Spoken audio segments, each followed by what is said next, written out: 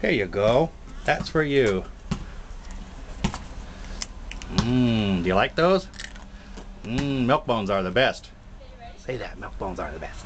Milk